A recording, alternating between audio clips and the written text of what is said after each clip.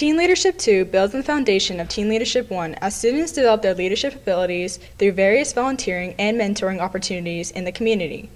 Brought to Teen Leadership teacher Cody Bridwell by Assistant Principal Jason Harris, students can receive service hours, a cord for graduation that will distinguish them as a mentor, and a chance to win an award as Volunteer slash Mentor of the Year at Award Night. Through volunteering, the students are able to serve as an example for those who are younger than them. Having students, especially students that attended Anderson, like a couple of our students this morning, uh, come back and volunteer in our schools, it lets the students at this level see that um, community service doesn't just end at the elementary level. They see that the service continues all the way up into the high school level, and I'm sure some of these students that we have this morning will continue with their community service when they get into college. Currently, only Teen Leadership 2 classes have this opportunity. However, Bridwell hopes to provide it to a few selected Teen Leadership 1 students beginning next school year.